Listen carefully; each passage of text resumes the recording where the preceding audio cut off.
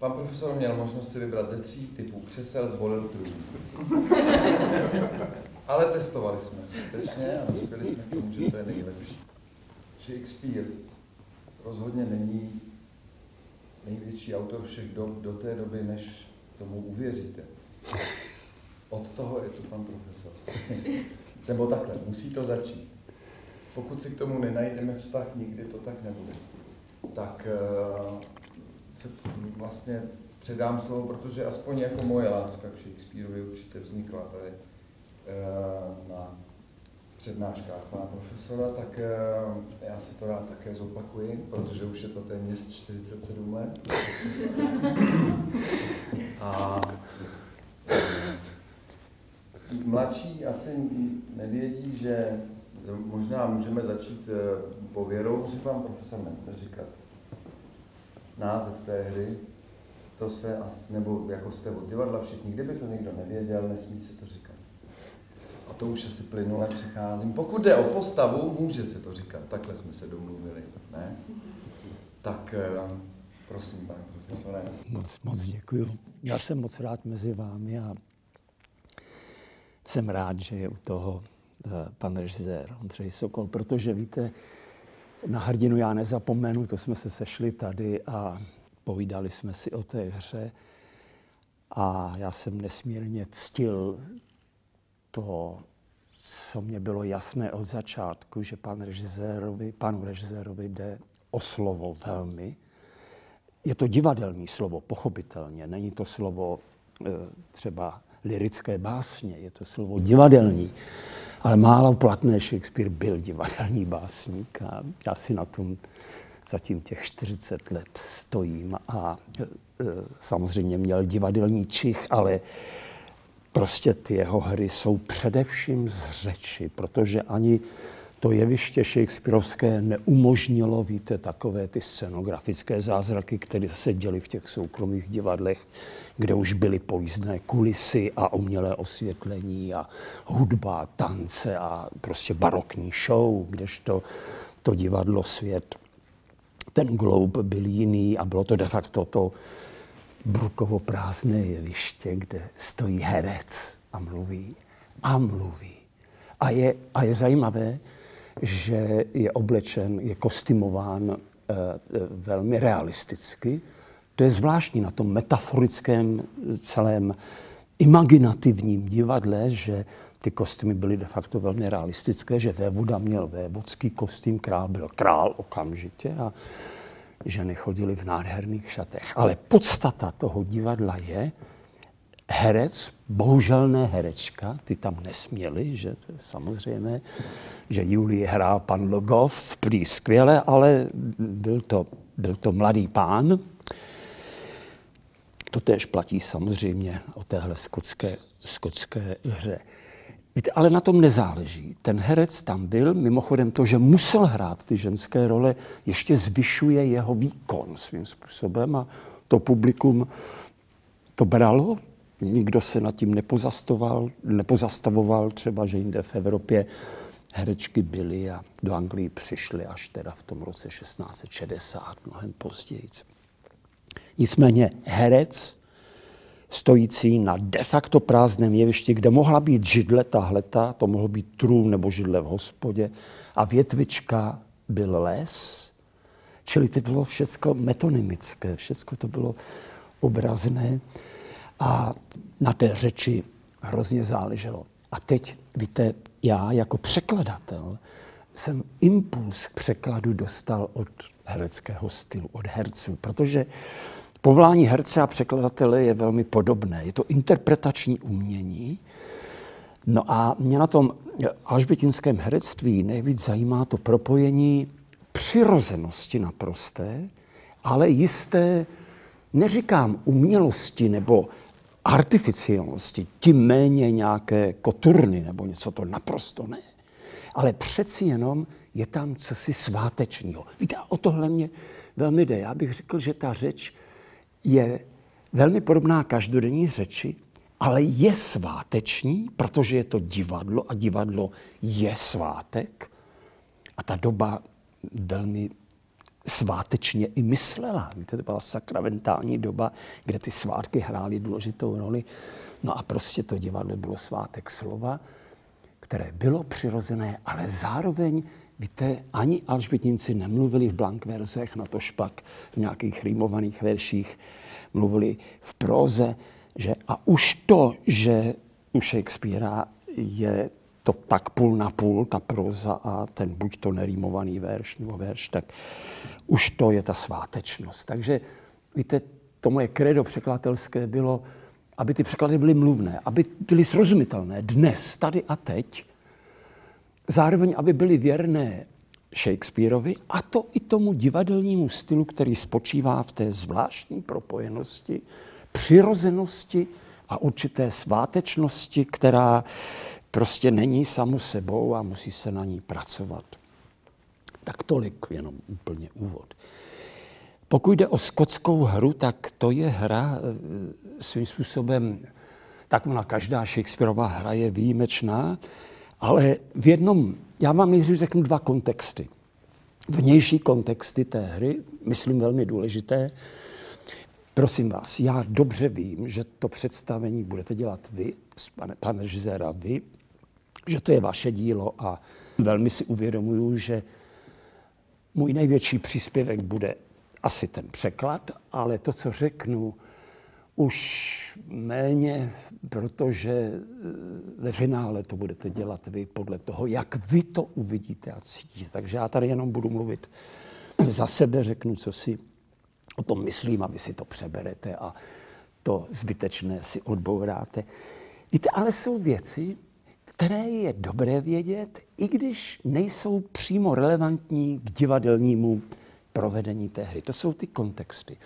A ten první kontext je ten, že historický skotský král eh, toho jména, které mohu říct, jména Macbeth, eh, byl úplně jiný než eh, Shakespeareova postava toho jména. Čili se tady opakuje syndrom Richarda III. To znáte, že Víte, a to je napováženou. Je to napováženou, já jsem si uvědomil, že to není legrace, protože miliony lidí na této planetě znají Richarda III. tak, jak to napsal Shakespeare a znají Macbetha tak, jak to napsal Shakespeare, tu postavu.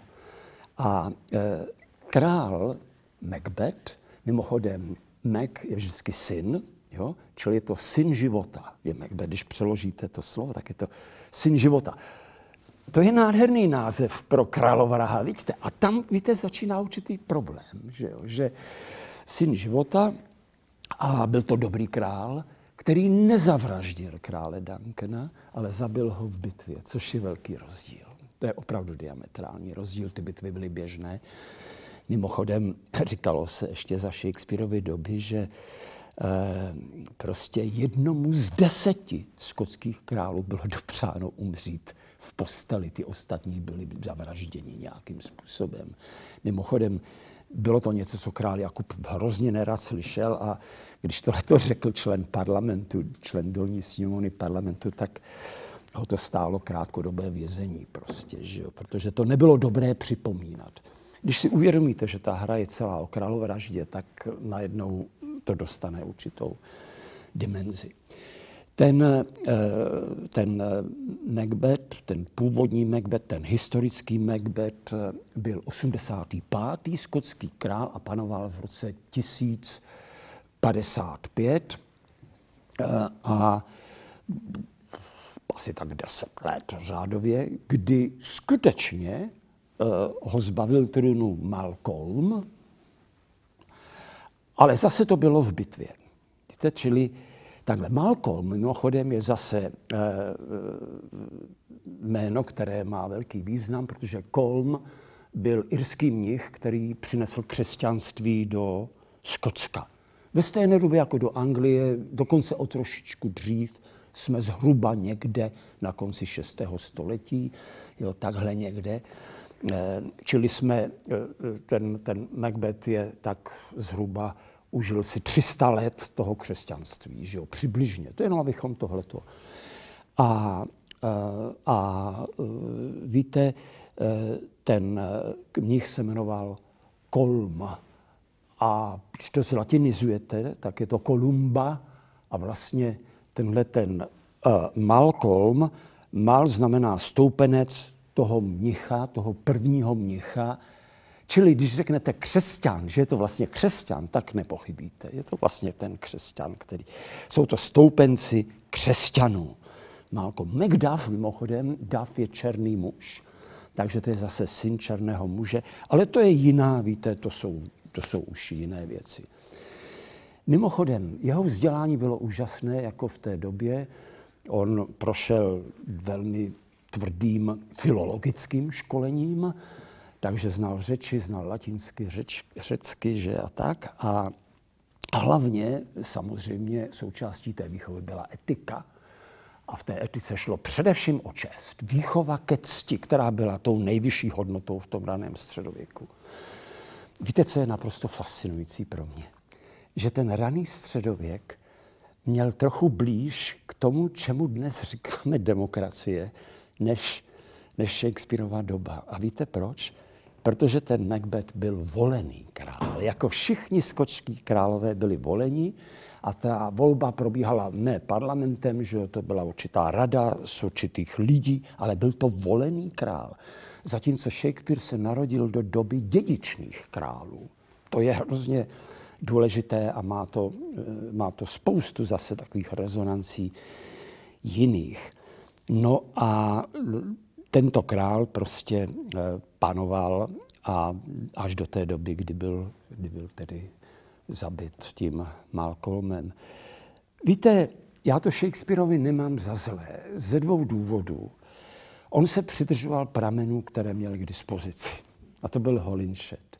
A ty prameny ale se vzdálili těm původním kronikám, ty byly z 11. století. To znamená, to byly kroniky, které psali kronikáři, kteří ještě mohli zažít toho, nebo, nebo jejich rodiče třeba, a věděli, jak to bylo doopravdy. A víte, jak šla doba dál, tak vznikal mýtus té skotské hry a mýtus té postavy. Každý k tomu přidělal něco, takže Lady Macbeth nejdřív ta samozřejmě neexistovala, to vymysleli lidé asi 200 let poté a tak dále. E, I Banko hrál úplně jinou roli a, a tak dále a tak dále. Až to dospělo teda do té podoby Holinsheda, který to převzal zase od jednoho rektora univerzity v St. Andrews a tak dále. A ten, za ten posun de facto nemůže, protože ho učinili kronikáři jeho, jeho doby. No a ten druhý důvod je pro mě ještě mnohem vážnější a jde o to, že Macbeth není kronikářská hra, Macbeth je tragedie. A víte, pravda kronikářské hry není to samé jako pravda tragedie. To jsou dvě pravdy. A pokud jde o tu tragedii, tak Macbeth nelže. Víte? A e, Shakespeare nelže, protože e, prostě je to, je to opravdu nejhlubší sonda, kterou já znám do zla a jak zlo vzniká. A kuriozní na, na této skotské hře je, že ten hlavní představitel začíná jako vzor čestného muže. Víte, čili je to něco jiného než Jago. Ten je prevít od začátku, jaksi od narození, tam se o tom nemluví. Ale tady vysloveně si Shakespeare dal práci, aby vybudoval tu představu eh, Macbeta jako člověka, který eh, velmi je čestný, protože ctí svého krále, jemuž je loajální a nasazuje pro něho život v té válce s těmi nory jo? a tak dále. A je to hrdina v tom smyslu, jako tehdy hrdinové. Pro mě, já s tím slovem hrdina mám ten problém, když umíte mečem rozpárat někoho od hlavy, tak prostě bych to... No ale prostě tehdy to tak bylo, že jo, čili je to hrdina. A víte, jak se z hrdiny stane arcipadouch a vrah a zloduch, tak to je zajímavé. No a e, ještě zajímavější, myslím, je, že uh, Macbeth má svědomí. Víte, zcela evidentně na začátku té hry, a to je velmi důležité, myslím, A je to důležité, protože on zpočátku vlastně vůbec nemá v úmyslu žádnou vraždu. Že? Víte? A upřímně řečeno, tam se hraje tu mytickou roli ta Lady Macbeth, která vlastně má vysloveně mužské atributy. Víte, tam dochází k té zajímavé inverzi, to je u Shakespearea časté, že on nepřemýšlí v těch úhledných škatulkách, jako muž, žena, katolík, protestant. Jo, takhle to jeho vidění světa je daleko komplikovanější, složitější a není černobílé. Já se vám přiznám, že proto já ho mám rád a proto jsem mu věnoval de facto pracovní život. Že? Tak tohle je ten hlavní důvod. Ta vize složitosti světa. Víte? No a e, pochopitelně ta Lady Macbeth jedná jako velmi krutý muž a to, co říká, je naprosto úděsné, víte? Která žena může říct, že by radši, kdyby její manžel udělal kariéru, eh, a že by kvůli tomu vyrazila svému dítěti mozek z hlavy. To ona řekne. To ona řekne a myslím si, že by to nemělo být ve škrtu tohle, protože je to velmi, velmi nehezká věc, ale víte, když ji neřeknete, tak tu hru zmrzačíte podobně jako když Shylockovi odříznete tu repliku, nenávidím ho, protože je křesťan, když říká Antoniovi. Bohužel se to děje v současné době i v Británii, že tyto politicky nekorektní věci se škrtnou ne vždycky, ale v některých televizních inscenacích jsem to zaznamenal. A víte, co je pro mě naprosto pozoruhodné? Že vlastně eh, ten vývoj eh, toho Macbeta a Lady Macbeth je v takovém opačném gardu úplně. Zatímco pro Macbeta je velmi obtížné spáchat tu první vraždu. Ta druhá už jde dobře, ta třetí už to. A ta čtvrtá, to už je jedno dokonce naopak. Já musím vraždit dál, neboť vím, že se v té krvi utopím. Rozumíte, když nebudu vraždit dál, tak nakonec se utopí ve vlastní krvi, což se teda nakonec stane tak jako tak. Jinými slovy, ten vývoj je od člověka, který se ptá a který vlastně se vlastně odmítne to udělat na začátku, protože si váží toho krále, váží si člověka. Navíc ten král mu dělal jen dobro, byl jeho přítel. Jenom králem nakonec teda navrhl, ať je volen ten Malcolm, že jo, ten syn, a ne teda eh, Macbeth, že jo. Ale byl to dobrý král a on to ví. On to ví a krásně o tom mluví v monologu, který bych vám chtěl připomenout, eh, který je nádherný, kde mluví o dítěti. Lítost je jako dítě, jako cherubín, víte, který do světa vykřikne tu hrůzu, nebo by vykřikl tu hrůzu té vraždy. Takže to dítě vlastně symbolizuje slitovnost. Jo? Mimochodem to barokní obraz v té hře, protože básník jménem Sazel Robert, který na rozdíl od Shakespearea teda byl katolík a šel na tu popravu šílenou, tak napsal báseň Burning Baby, hořící dítě, kde vlastně je to předvánoční, je to, víte, je to vlastně Ježíšek, že jo, před, před narozením, teda je to, je, to, je, to, je to sváteční hra vlastně vánoční, která slaví narození, že jo, narození dítěte. To dítě je pro mě hrozně důležité v souvislosti s Macbethem mimochodem. No a uh, víte, pozoruhodné je, že nakonec ta lady, ta lady Macbeth, která byla víc muž než Macbeth, tak vlastně skolabuje, vlastně se úplně rozsype na konci té hry tam to není explicitně řečeno, já si myslím, že spáchá sebevraždu, že to je sebevražda, že to není přirozená smrt, že to je sebevražda. A teď se snaží smít tu krev, kterou ona pořád vidí, tu krev, ona se umazala, ona má ruce od krve doslova, protože šla za tím zabitým Duncanem že, a brala ty skrvavené díky. A teď víte, a to je úžasné na Shakespeareovi, že tam je ten obraz smragdového moře, zelené moře. Si umeje ty ruce, ale víte, krev z rukou nesmejete nikdy prostě.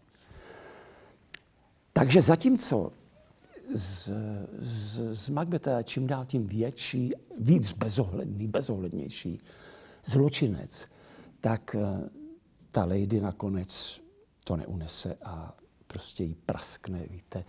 Je to, asi se tomu nedá říct jinak než svědomí vlastně. Je to svědomí nakonec taky, víte, nakonec.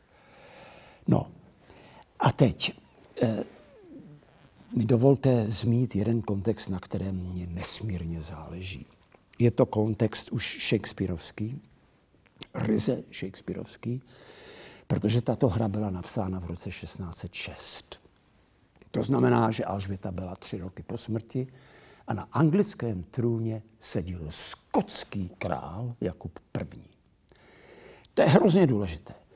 Mimochodem, jenom abyste věděli, protože víte, tohle se málo ví a je dobré tohle připomenout, že ten skotský král byl syn Marie Stuartovny. A Marie Stuartovna byla skotskou královnou.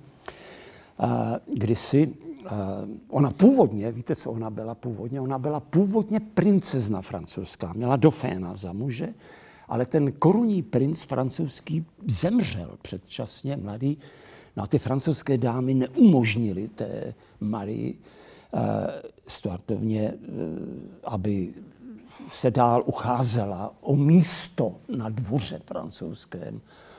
Prostě už nemohla být královnou a stala se skotskou královnou. Tam podle mého soudu politicky pokazila všechno, co mohla, dostali pro, dostala proti sobě skotské pány a e, udělala hroznou věc, podle mě, Prostě ona měla milence, to není ta hrozná věc. Ta hrozná věc je, že tím milence byl, byl hrabě Boswell a že jednoho dne na Edinburghské, v Edinburghské zahradě byla nalezena jeho mrtvola. Byla nalezena mrtvola manžela to té Marie, což byl Lord Darnley. On se jmenoval Jindřich Darnley. No a e, prostě tím vrahem byl ten milenec, víte. Prosím vás, to je čirý Hamlet. Tohle, to, to je Claudius, princ Hamlet a, a ta, že jo, ta, ta žena starého krále Hamleta, to je úplně jak, já nevím, jestli Shakespeare o tom určitě věděl, ale asi podle toho ten, toho Hamleta nepsal. Ale důležité je tam ten mord a důležité je, že ta Marie si vzala prostě dva měsíce poté toho Bouswella za manžela což se nedělá. Víte, to se vážně nedělá. A v té době to byl evropský skandál a ona na to dojela, promiňte ten tak, že jo. Na to, to byla jedna z věcí, e, prostě, a dostala ten azyl politický. No a teď, proč to říkám? No říkám to proto, že ten azyl dostala v době, kdy tomu Jakubovi byl jeden rok. Víte, čili ty hrůzy, o kterých jsem mluvil, ta vražda toho toho Lorda Darnleyho, tím milencem Marie, což byla maminka krále Jakuba, že jo, a ten Darnley byl jeho tatínek prostě, že jo. Čili, víte, takhle, ona si vzala vraha, jo, e, e, svého manžela a tedy otce, otce prince Jakuba a ten dostal do vínku heslo Remember me, to je skoro jako duch, pamatuj na mě. a tam bylo vymalován celý ten příběh té vraždy a to, byl to obraz, víte, to Remember Me byl paměťový obraz, podobně jako hra ve hře, třeba v Hamletovi je paměťová hra, která připomíná, co se stalo. Jinými slovy, ten Jakub měl děs, děs z násilí a vražd a královražd. Proto nosil drátěnou košili pod normální košilí a často, když měl špatnou noc, tak si obstavil ložnici nábytkem, aby k němu nikdo nemohl a měl fobii vysloveně jako skotský král, že bude zavražděn. No a samozřejmě tento král, když přišel na anglický trůn, tak jedna z prvních věcí, které udělal, je, že ze Shakespeareovy společnosti Lorda Komořího udělal společnost služebníků krále. To znamená, že uznal uh, ty služebníky Lorda Komořího, kterým já říkám zkráceně Shakespeareova společnost, protože on tam působil jako principál, jako hlavní autor a mluvil s herci a tak, tak najednou to divadlo bylo povýšeno, prostě protože bylo královským rozhodnutím, prostě vyhrálo takový ten, dneska bychom řekli, eh, takové výběrové řízení, jo, nebo něco takového. A to byla obrovská podsta pro to divadlo. Samozřejmě ten král Jakub, to je hrozně důležité, byl protestant. A to i přesto, že jeho matka, kterou Alžběta dala víte, to je, já jsem to neřekl, ta Marie Stuartovna skončila na popravčím špalku, protože se chystalo spiknutí proti Alžbětě za pomoci invazních vojsk a samozřejmě součástí rozpiknutí byla, vra, byla vražda. Schválená papežem, mimochodem ne přímo, to on nemůže přímo, ale kdybyste četli tu bulu, kterou papež exponikoval Alžbětu, eh, to se dá, ta běžně kmání ta bula, to si vygooglujete, tak tam stojí, že prostě angličtí podaní nemají povinnost poslouchat svou královnu, protože je to luciferka, kacířka, uzurpátorka anglického trůnu a připravila Řím o několik milionů, tak tři a půl milionu duší. No a, a ten Cecil a ten premiér a ten první minister dohnali prostě k vraždě, k popravě tu Alžbětu a bylo to, byla to hrozná věc.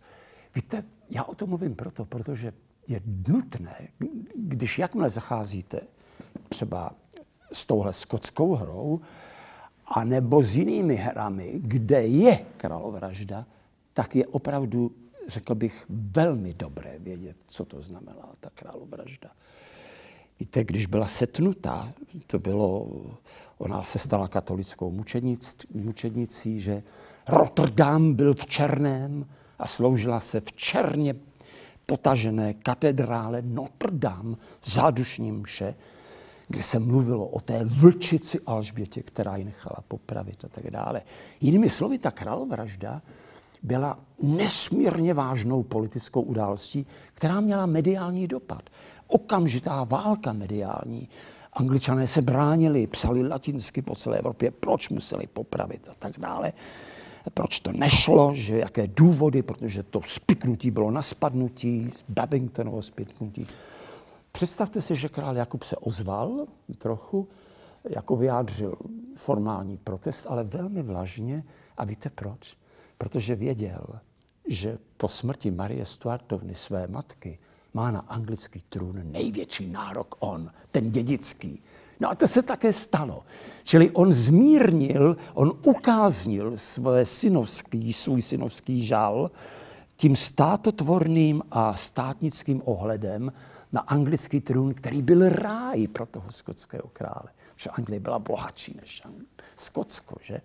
A on se na to nesmírně těšil a stalo se to, ta Alžběta řekla, Jakub, než umřela, pár minut předtím, než umřela, tak to potvrdila a tím tomu dala placet.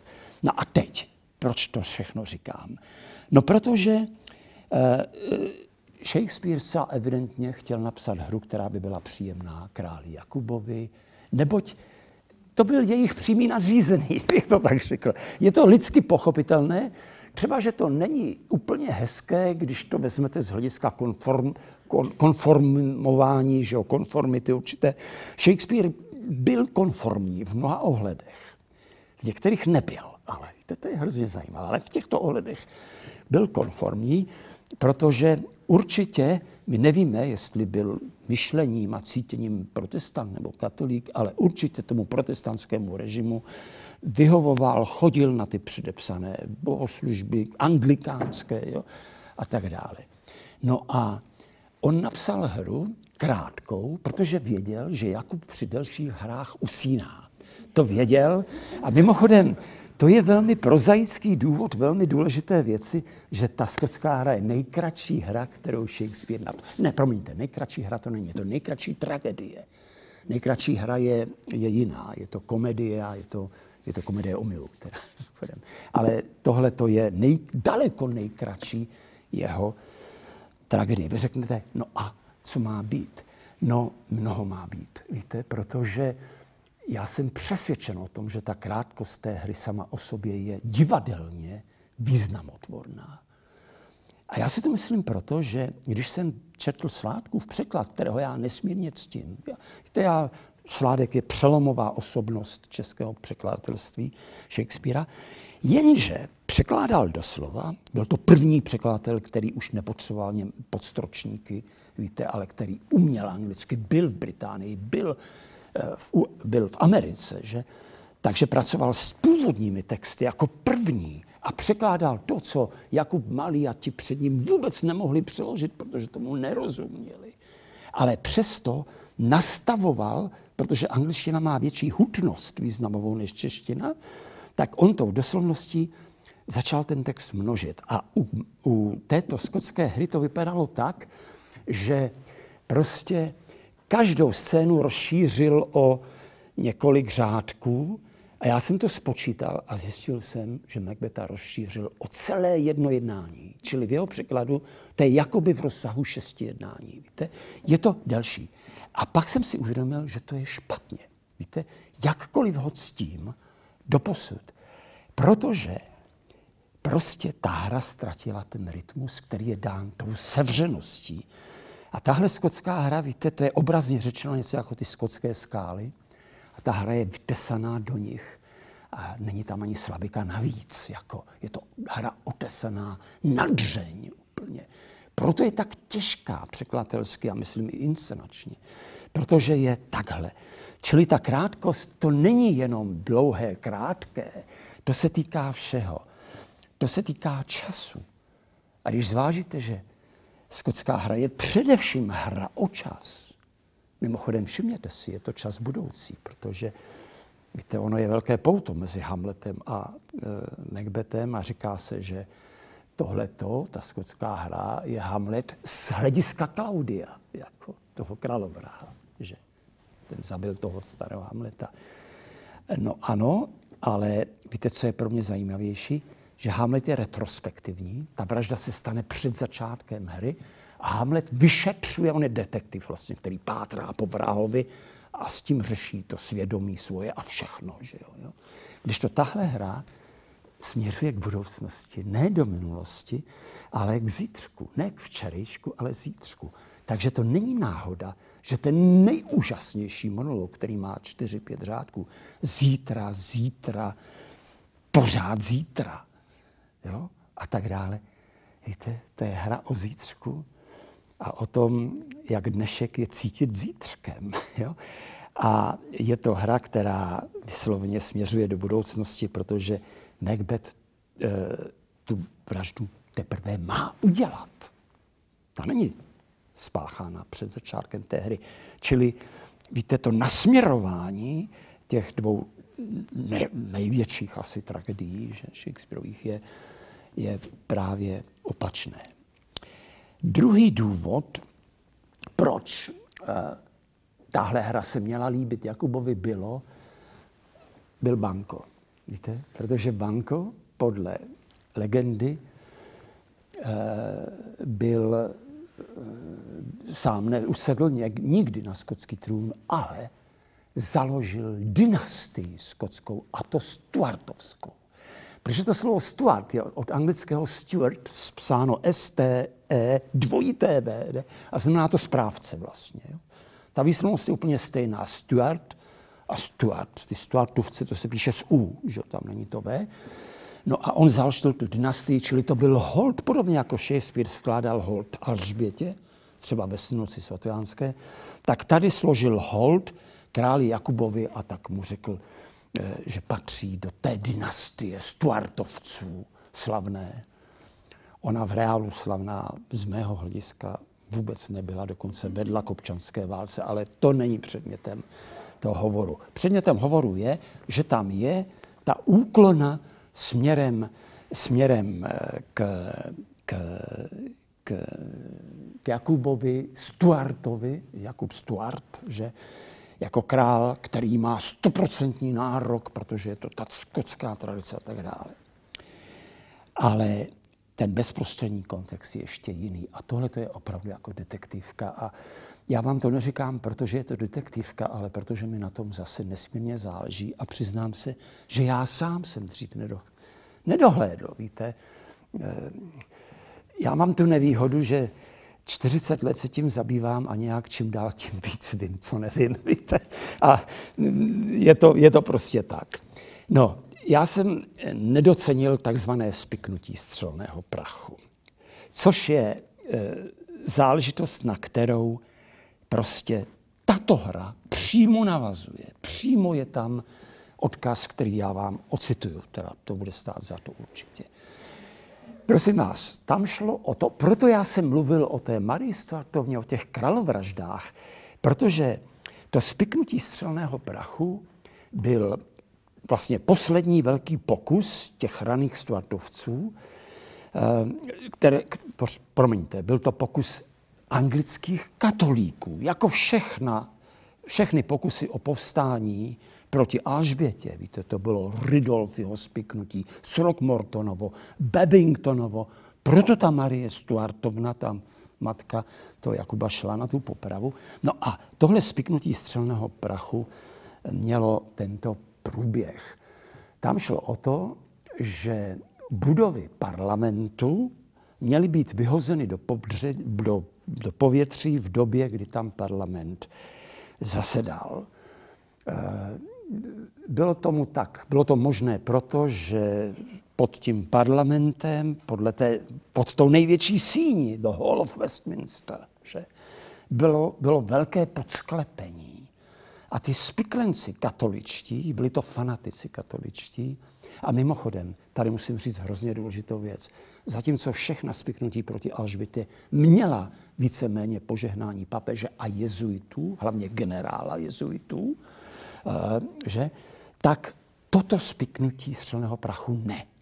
Tam, protože Jakub nebyl Alžběta, víte, ten byl syn té Marie a eh, ti katolíci byli daleko zdrženlivější a sám papež mírnil a řekl, to je jejich věc a doufal, že Jakub dojedná se španělském smlouvy a že těm katolíkům se bude ve té utlačené menšině katolické se povede líp za Jakuba. No a ono k tomu nedošlo na těch několik fanatiků si vzalo, promiňte, že to slovo říkám, ale to byli extremisté prostě. A ty jsou vždycky špatně, víte, to je jedno, jestli je to protestantský extremista nebo katolický. Jedno to není, ale ty důsledky jsou neblahé prostě. No a tady šlo o to, že oni se rozhodli, víte, co to bylo? To byl teroristický čin, největší v té době bezprecedentní, protože v tu chvíli Těch sudů bylo několik desítek a mohli zabít deset tisíc lidí. To znamená, že kdyby se to povedlo, tak onoho 5. listopadu 1606 by vylétl do povětří král Jakub a celá jeho rodina, především oba princové, oni oba ještě žili, ten Jindřich pak zemřel, ale žili. Dále celá, celá takzvaná tajná rada, to je dnešní kabinet, to je celá vláda, to bylo zhruba 20 lidí tehdy, No a hlavně anglický parlament v době zasedání. A teď si představte, že v té horní komoře seděli katolíci. Tam byli katoličtí pérové, kteří měli imunitu poslaneckou za protestantské vlády Jakuba. To jsou paradoxy, víte, té doby, ale měli.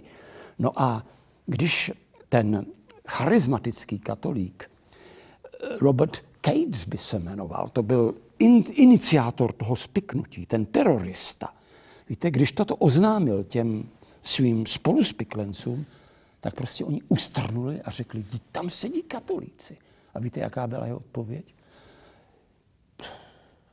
Drastická nemoc se žádá drastickou léčbu. To znamená, když se kácí les, letají třísky. Že? V podobě lidských životů tady v tom případě. No a to spiknutí tedy bylo odhaleno, protože jeden z těch spiklenců, neví se, kdo napsal anonymní dopis, něco, víte, tomu jednomu katolickému lordu, který právě večeřel a dostal dopis, kde stálo nechoďte 5. listopadu do anglického parlamentu, stane se něco hrozného. Nebylo řečeno co. No a ten katolík nevěděl, asi si chtěl trochu šplhnout, nic jiného, než běžel k premiérovi, jak bychom dneska řekli, byl to první minister Robert Cecil, to už byl syn toho Williama. Ukázal mu to. Král Jakub právě lovil, on se věnoval víc lovu, víte, on hodně lovil, takže nebyl v Londýně. Bylo mu to řečeno, to spiknutí bylo odhaleno. A byl proces. Byl proces, který skončil popravami naprosto brutálními. Tak brutálními, že se o tom těžko mluví, ale je to součást, bohužel, anglické civilizace. Víte, víte protože ti spiklenci se dopustili velezrady. A na velezradu od poloviny 14. století byl děsivý trest. Děsivý a nepřijatelný. Mně se dělá zle, když na to jen pomyslím. Prostě pověsit, zaživa sundat, vykuchat, tak aby ta oběť ještě mohla případně vidět ty vykuchané vnitřnosti, vykastrovat, protože to byli muži, že většinou, a poté tělo rozčtvrtit, hlavu useknout, nabodnout na tyč a tak dále a tak dále. Představ si, že ten, představte si, že tento trest byl stoprocentně a jednoznačně zakázán až v roce 1820, jo, což je tedy neskutečné. A bylo to to obyčejové právo, víte.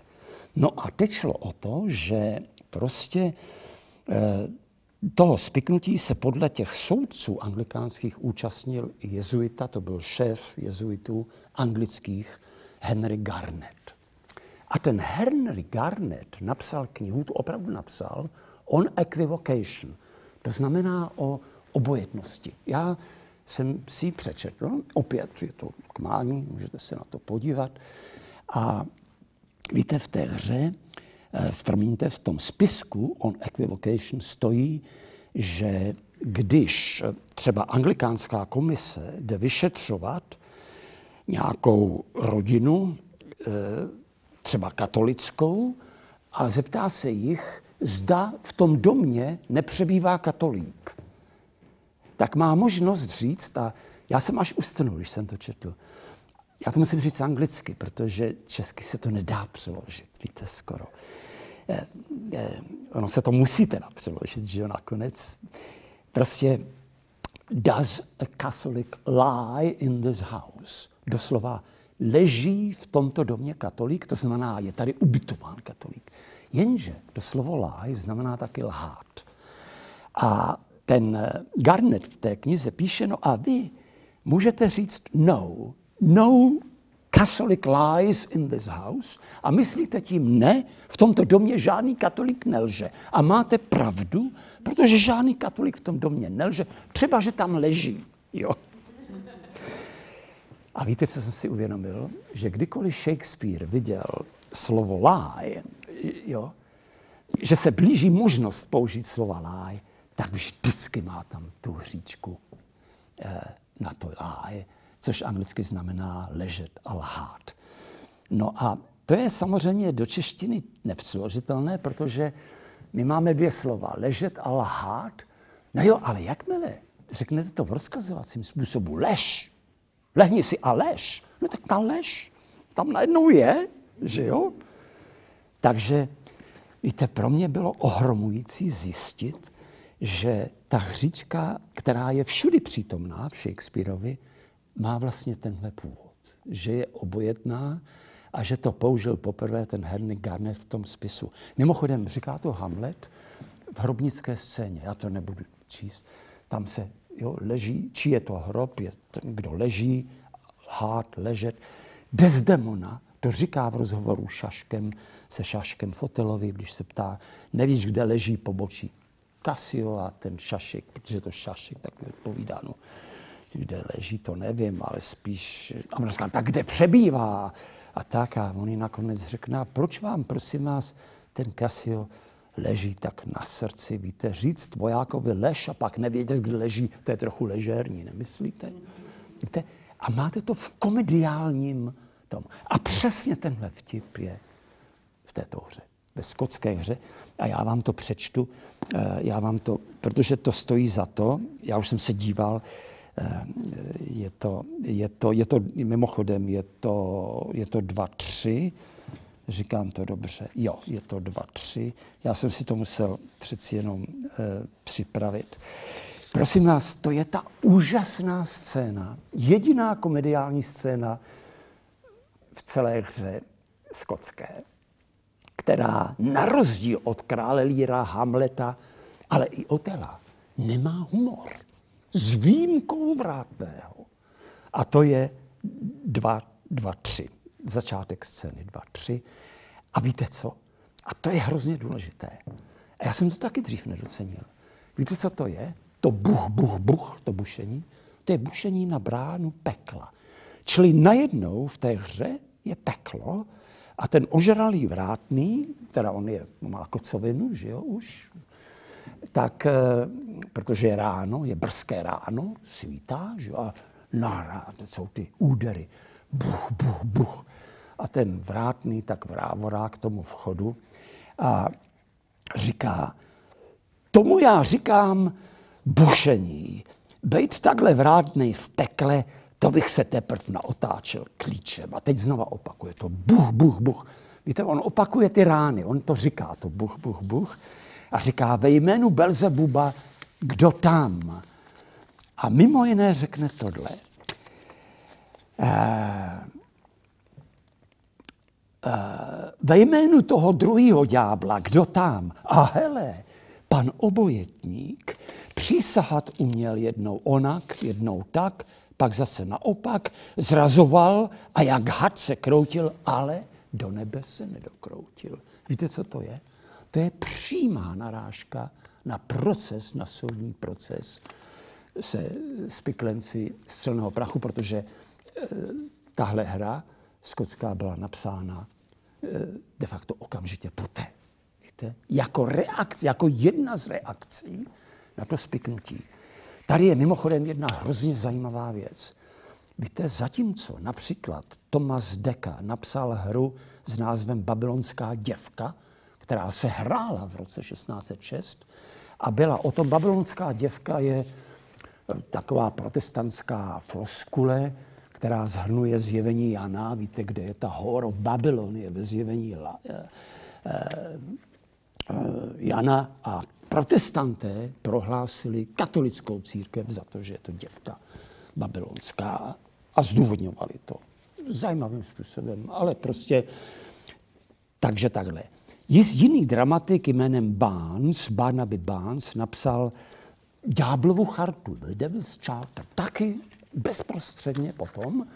A to bylo o tom, jak Alexandr VI, víte, se spikne s ďáblem proto, aby zavraždil anglického panovníka. Panovnici je to Alžběta, protože Jakub žil a když Jakub žil, tak se nesměl zmínit, víte, v divadelní hře. Živící politik a žijící hlavně panovník se nesměl zmínit eh, v alžbětinských a jakubovských hrách. No, a to byla vysloveně proti antiklerální, antikatolická, drsná, hrubá satira. Tohle Shakespeare nikdy nenapsal. Víte, to je zajímavé. Nikdy eh, neudělal ze své hry propagandu tohoto typu, jako třeba ten Thomas Decker nebo ten Barnaby Barnes. Že jo? Ale v této hře má ten takový ten lehký dotek, jo? který je prostě o tomhle. A je to jednoznačné. A je taky jednoznačné, že on, ten vrátný, si z toho dělá legraci, a je jednoznačné, že Shakespeare počítal z reakcí publika, protože, víte, Londýn žil v hrůze. To byly jako dvojčata dneska, víte. Bylo to úplně jinak technicky, že jo, ale víte, co schodu, víte, co se, se dvojčata podobají tomu střelnému prachu? No tím, že to bylo pečlivě, ten cíl je pečlivě vybrán. Symbol celé euroatlantické civilizace, dvojčata a parlament jako symbol královské a církevní moci, protože král, panovník byl v, té, v této Anglii, v té době byl, byl hlavou církve, že jo, taky tam splynula ta královská moc. Čili je to něco hrozně zajímavého. A jde to dál a e, pak se cituje znova, víte, a doslova to láje, to lhaní, a to je tohleto, to byste neřekli. To je velmi krásná věc, kterou říká ten vrátný a říká tohle. Tady se jedlo a pilo až do druhého kuropění. Důsledný pití, pane, mývá trojí důsledek. Na Megdav se zeptá důsledek trojí důsledného pití a vrátný. Červený nosy, spaní, močení. Taky chtíč. Jenže s chtíčem se to má tak. Chlast ho nejdřív přivolá a potom ho odvolá. Vyvolá chuť, ale brání v činu. Co se chtíče týče, chová se chlast jako obojetník. Udělá ho i oddělá, navede ho i odvede. Nejdřív ho k tomu má a pak se k tomu nemá. Sotva ho postaví, hned ho nechá klesnout. A pak, že chlastat v hrdlo, a pak, že chlast v hrdlo nelže. No jenže chtíč pak se lže, jak slyší lež, lehne si a leží. Takže to je překlad nepřeložitelného láje, víte. A mimochodem, zdaleka to není jen pro legraci tohleto. Mimochodem, je to, to je přece zajímavá pasáž a víte, ta otevřená jako erotičnost, to vlastně není správné slovo, tohle to je až, to jde do určité, já bych tomu neřekl vulgarita, ale je to otevřená sexuální narážka, která ale Shakespeare je velmi častá a retušovat to je hluboce nemravné. Já myslím, že umravňovat Shakespearea je největší nemravnost, kterou, které se můžete dopustit. Protože on je eroticky otevřený, ale vulgární není vlastně nikdy. Víte? Protože vulgarita je něco jiného. A je to něco, co je Shakespeareovi podle mě cizí. No a tak dále. A teď vám řeknu, ale tohle to dejme tomu řeknete dobře. A to dneska nikdo neví. To dneska nikdo neví. Co je dneska divákovi eh, této hry do toho, že bylo nějaké spiknutí a že tohle je narážka na to spiknutí. Ale víte, co já jsem si uvědomil? Že ta obod, obojetnost, to není jenom to, že každá slovní hříčka Shakespeareova a každého jiného básníka je obojetná, protože je podvojná. Teď to má v popisu práce ta slovní hříčka. Když řeknete anglicky sun, tak je to syn, ale taky slunce. Čte se to, vyslovuje se to úplně stejně, ale píšete to buď to SUN nebo SON a máte dvě různá slova a je to všude v Shakespeareovi, v Hamletovi, všude, stejně jako to láj, víte. Je to i v sonetech dokonce. Mohl bych citovat sonet 138, který je postaven na tom láj. Ale nejde jen o to. Jde také o to, že ta obojetnost vstupuje do těch čarodějnic. A to je už velmi podstatná věc, protože to je další důvod, eh, proč tahle hra a proč vlastně je to další způsob, jak Shakespeare se chtěl, víte, zavděčit tomu Jakubovi, protože Jakub byl velmi vzdělaný, ten král, a napsal demonologii, napsal o čarodějnicích spis. Mimochodem, ty procesy s čarodějnicemi byly ve Skotsku daleko horší než v Anglii. Anglie v tomhle byla rozumnější. Víte, tam například udavači čarodějnic nedostávali peníze, zatímco v Evropě ano. Jo? Tak, takovéhle věci, což je zajímavé. Že jo? No a ten Jakub prostě eh, měl děs z toho, že ty čarodějnice vlastně jsou nástroj. On jim věřil. On věřil na čarodějnice. Byl jeden z těch lidí, kteří tomu věřili. A když tomu věří král, tak je to problém. Že jo? Víte, čili i, či, i ty čarodějnice vlastně, to zase není jen takový, taková, taková dekorace dobová, jako, ale je to něco velmi podstatného, protože ty, ty čarodějnice jsou doslova obojetné. A jsou obojetné v tom osudovém významu.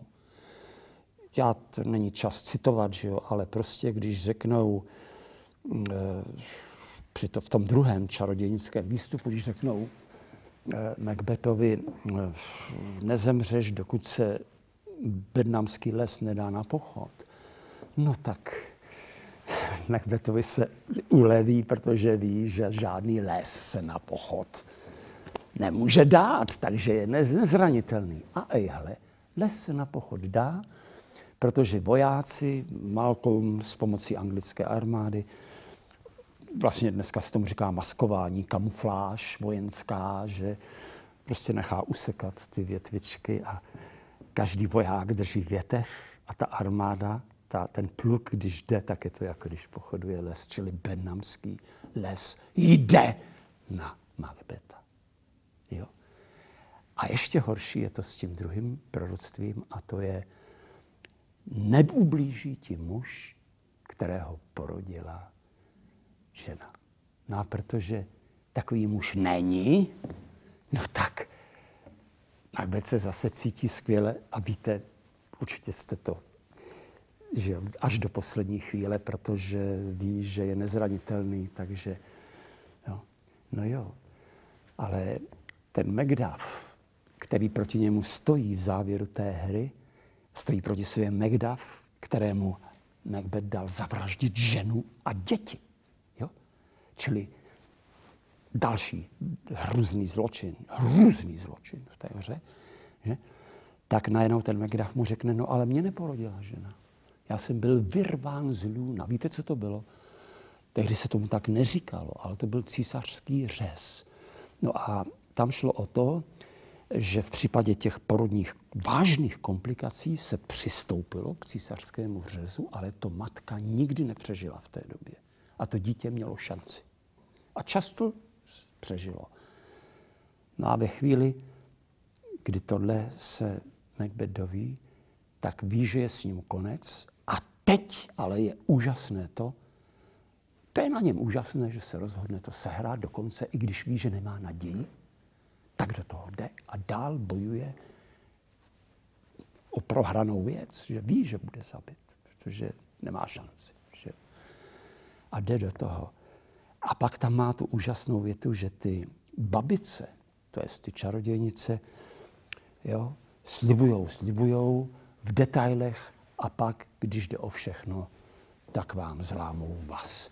A teď si uvědomte, že jsou obojetné. Jinými slovy, tady, víte, všechno to splyne do takového obrazu, že ta obojetnost těch čarodějnic velmi souvisí s tím spisem o obojetnosti a s těmi popravami těch katolíků a tak dále. Mimochodem, ten Henry Garnet byl, myslím, eh, popraven neprávem. On byl podle mě nevinný, protože on, on, on nechtěl tohle, rozmlouval spiklencům to spiknutí, ale prostě eh, neoznámil to. Neoznámil to, ale neúčastnil se toho spiknutí a zrazoval toho Caseby, aby to ne. A, a takže byl popraven stejně hrůzně jako ten Caseby a jako těch asi 10-12 spiklenců. No a to celé, to, to, ta obojetnost se tady točí a teď, když si tohle uvědomíte, tak najednou se zase ten, celá ta hra někam, někam posouvá a pro mě tohle důležité je prostě. Uh, víte, ty čarodějnice se velmi liší například, oni jsou to nepř, nad takové, e, nejsou to obyčejné ženy, že? V reálu to byly obyčejné ženy, většinou staré ženy, ale ne vždycky. Mimochodem výjimečně to mohly být i muži. I muži mohli být souzeni a upáleni za čarodějnictví. Ve Skotsku se to stalo. A ty ženy byly většinou staré, ale taky byly mezi nimi mladé a krásné. Že? A taky šly na smrt, když teda eh, eh, byly obviněné. Že jo? No a víte, že v Evropě takhle bylo povražděno, víte, ta doba byla šílená, protože to, to, to jdeme do desítek tisíc, že, a, a ještě víc, že jo. V Anglii to bylo menší, ale byla to, byla to hruza. A ty čarodějnice nejsou jako duch Hamletův, protože víte, Hamletův duch řekne, jdi a vykonej pomsti tu hnusnou vraždu. Čili duch Hamleta, to znamená někdo, kdo přichází z očistce, někdo, kdo přichází z jiného světa, uloží Hamletovi úkol, aby vykonal pomstu. to všimněte si, čarodějnice nikdy neřeknou uh, uh, Macbethovi, jdi a zabij Duncana. To neřeknou. Oni řeknou, budeš kódor. Ten z Glemisy budeš kódor, budeš ten z kódoru. A brzo budeš král. víte, co já si myslím? Že Lady Macbeth je de facto taky čarodějnice. I když šéfka těch čarodějnic se jmenuje Hekate, to je mimochodem text, který nenapsal Shakespeare. Tady je cizí ruka, evidentně. Je to ruka vynikajícího dramatika té doby, Middleton se jmenuje, Thomas Middleton, který napsal hru čarodějnice, The Witch, a s velkou pravděpodobností, která je, není to nikdy 100%, ale to na 99%, napsal ten monolog Hekaté, což je královna čarodějnic. Že jo? To je ta šéfová.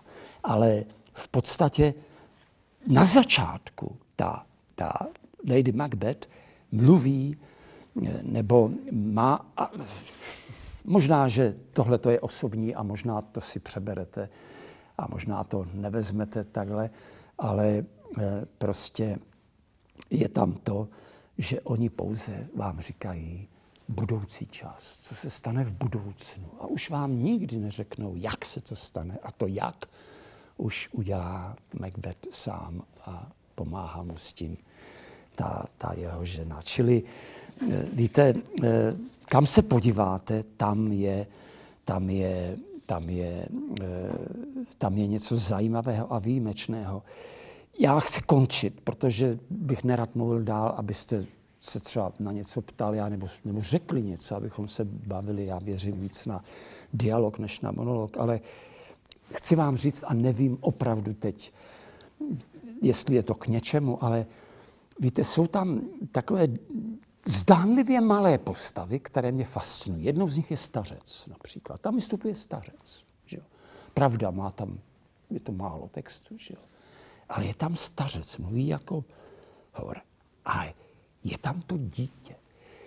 Já nevím, proč to dítě mě tak uhranulo, ale víte, podívejte se, tam je, všimli jste si toho, tam máte to dítě poprvé, teda za prvé vůbec řeknu, že to dítě bylo nesmírně důležité i v tom reálu, protože celý osud Anglie záležel doslova na tom, jestli královna Alžběta, to je alžbětinská Anglie, bude mít dědice nebo ne.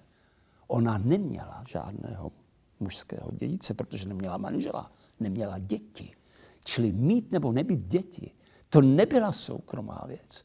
To byla věc, která se týkala státu, náboženství, celého království.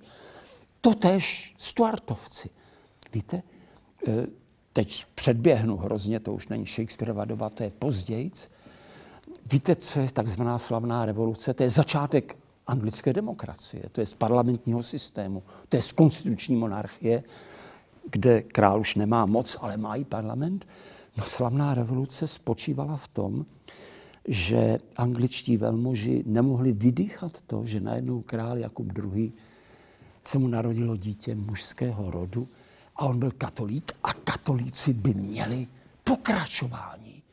A Anglie mohla být katolická po staletí, což by se mohlo stát velmi snadno. A oni požádali holandskou armádu a loďstvo o invazi do Anglie a dosadili tam protestanta Viléma jenom. Víte, čili to dítě je hrozně důležité.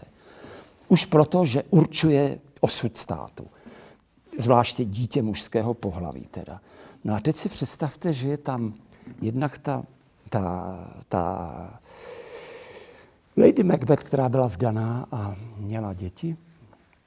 Mimochodem, kolik dětí měla Lady Macbeth, je takový vtip všech Shakespeareologů, protože je to název jednoho eseje, který se té otázce hrozně vysmívá. Jo?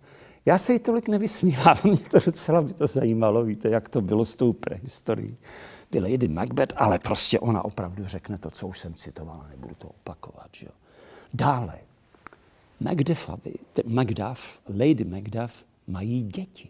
Ty děti jsou zavražděné.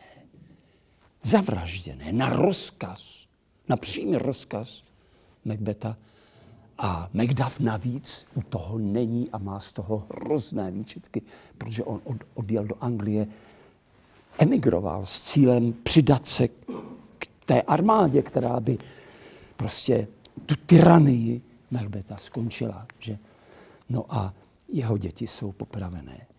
Teď je tam to dítě v tom obraze barokním, víte, že lítost jako dítě, víte, vykřičí do světa tu hrůzu.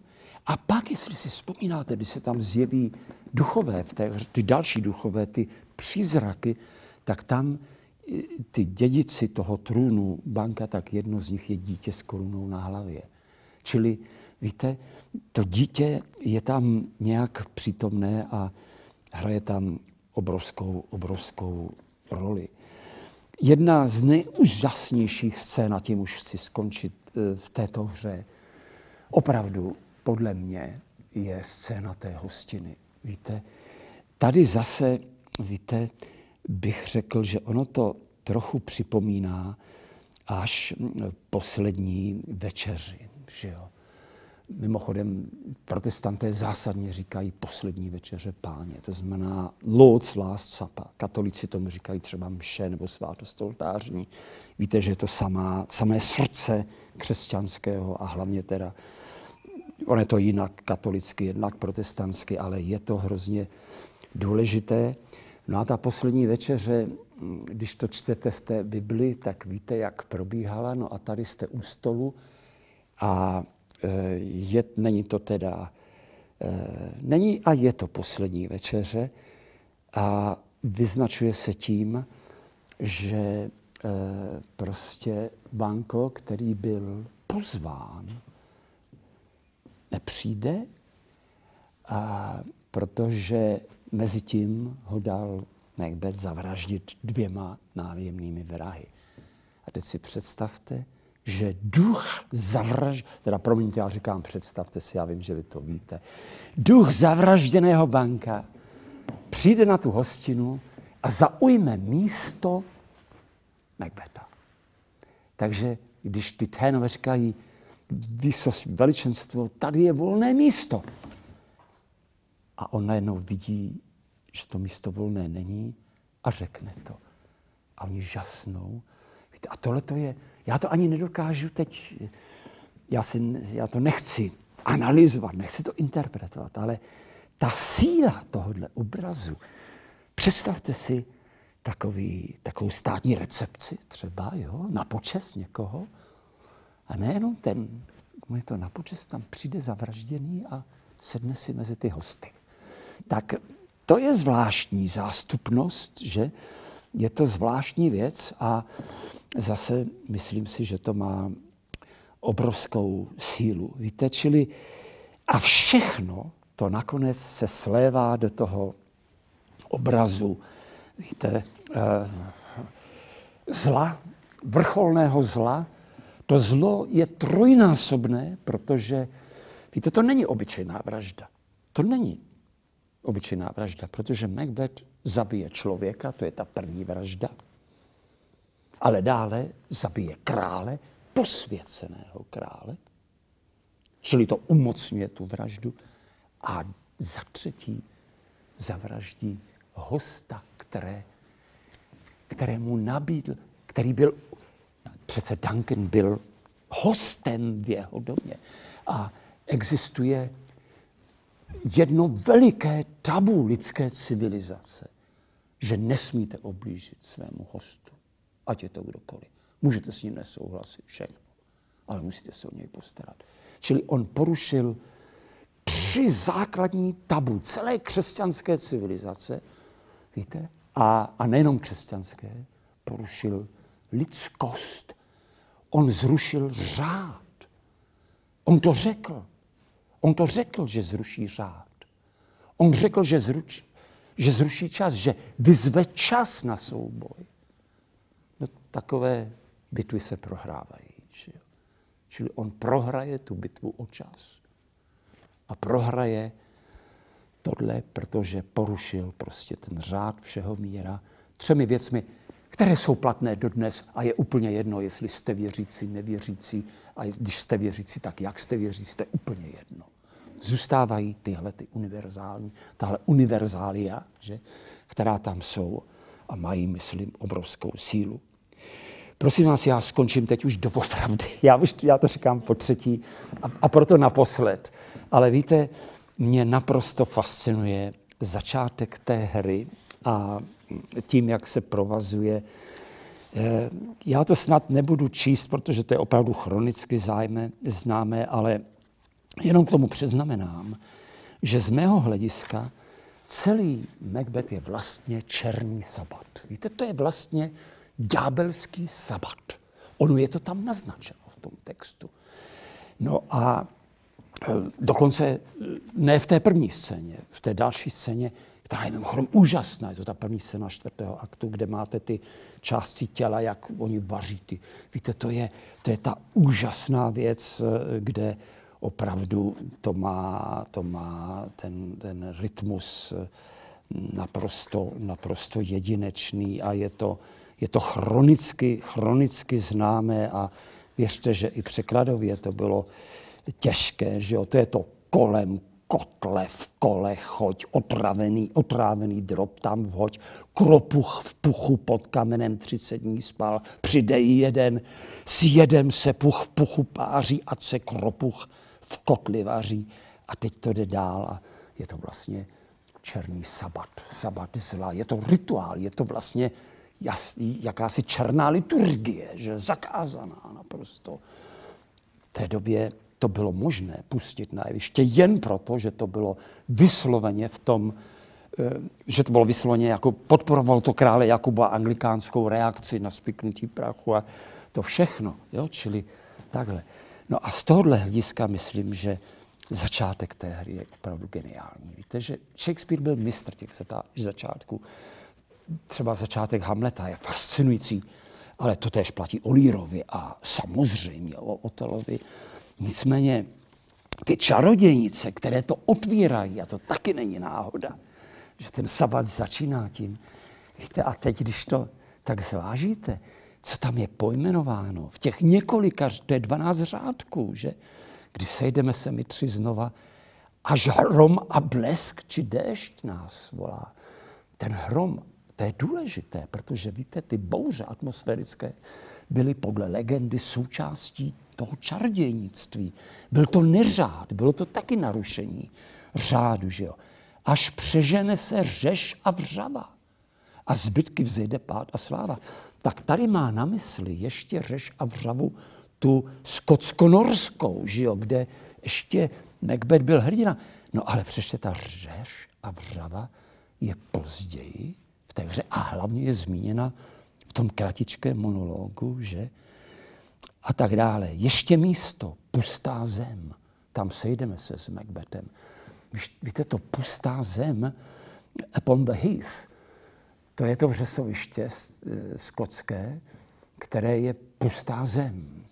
Já to říkám, protože pustá zem je pojem neplodnosti, že jo ujíž Dumoure, Kropuchová, ten Kropuch, to je trochu můj vynález, ale víte, je to, je to hlavně ropucha, která byla jedovatá, ale ten Kropuch k tomu dává, prostě tady je to nepřeložitelný Grey Malkin, jo, což je opravdu zvláštní, and paddock calls, víte, to jsou zvláštní potvory, se kterými ty čarodějnice záležely a ono to má takovou grotesknost až víte, která jde až do Hieronyma Boše, jo? do toho groteskního pozdně středověkého malíře.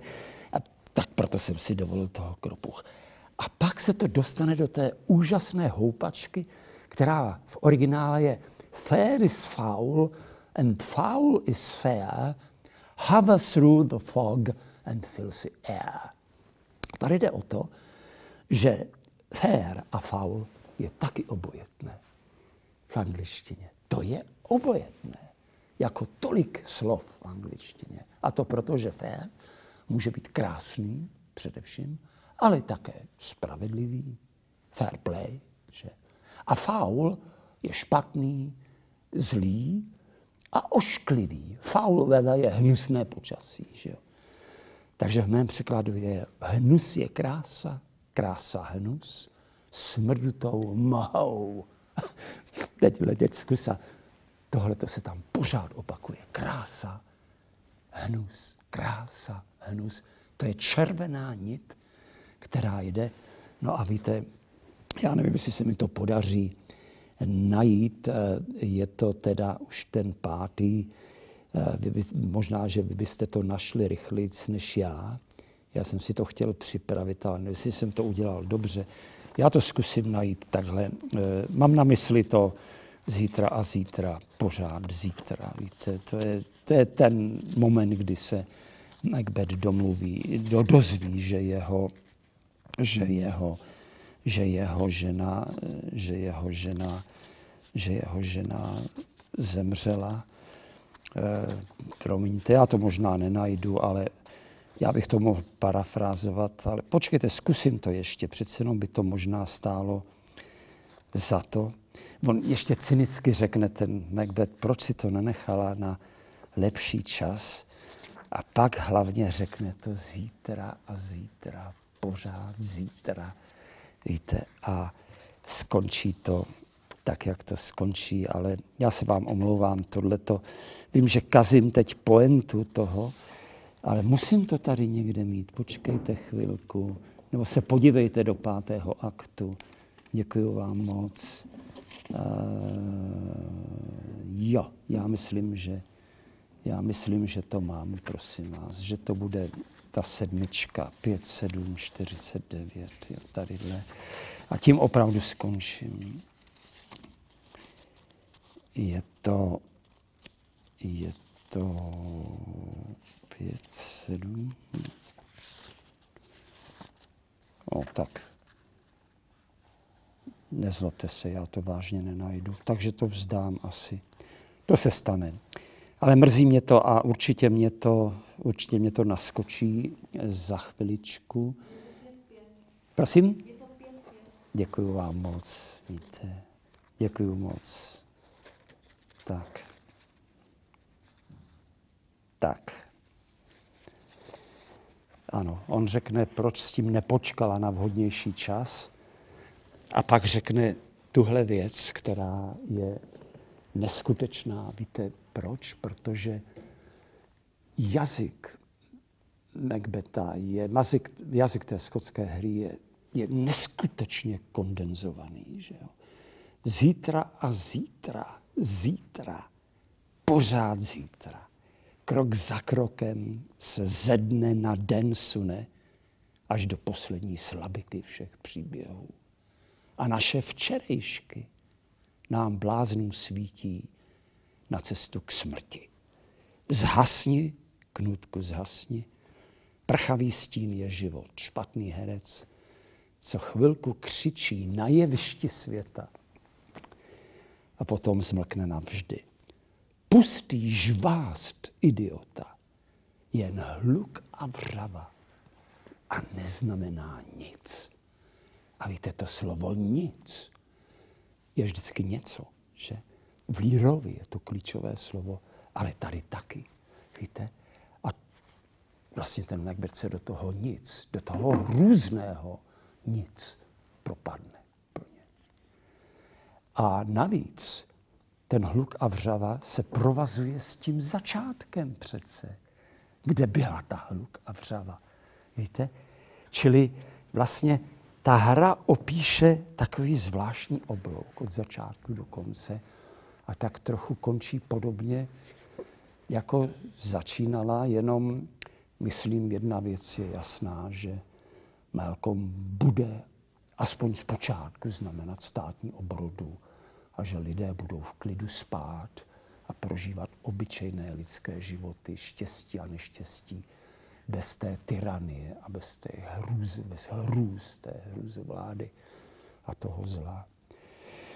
Tak mi to promiňte, nebylo to úplně souvislé, ale eh, tak to bylo to, co pro mě je důležité a možná, že pro vás bude důležité něco úplně jiného. Ale já nějak jsem se točil tady v tom, v té hře. A promiňte mi, jestli jsem, no já jsem byl nehorázný dokonce, to, je hodina a půl a víte, to je opravdu dokonce neslušné. A já se vám za to omlouvám, protože hodina je takový, jako aby jeden člověk mluvil déle než hodinu, je, myslím, by se mělo zakázat, ale pan režisér mi to nezakázal. Víte, on řekl, čas je váš. A já jsem toho trošičku zneužil, tak se za to omlouvám. Hodina a čtvrt. No. A čtvrt noha, no tak to je lepší trochu. Není tady zima? No já jsem už psal, aby to vybrnuli, protože to je... Já jsem naopak jako nechal zatopit, že jo? Jako... Ne, tak pořád jede studený. Pořád Jo, tak já jsem to nepochopil, protože jsem se díval na to, když máš krátký tričko, položený sveter. Já jsem dělal takhle, co je tohle za znak? Takový nepochopení na Když jevišti. toho fanili, tak dám to nám 20. Víte, já mám nevýhodu tu, že já, jak jsem překládal Shakespearea, tak jsem musel psát také o té době a mě to hrozně bavilo. Já se vám přiznám, mě to bavilo jako ten překlad. Já jsem měl dvě vášně. První byla ten překlad, to se vám přiznám, protože tam děláte tu opravdovou práci. Víte, to, tohle to mi závidí třeba britští a američtí Shakespeareové, protože tohle oni dělat nemůžou, oni ho už mají.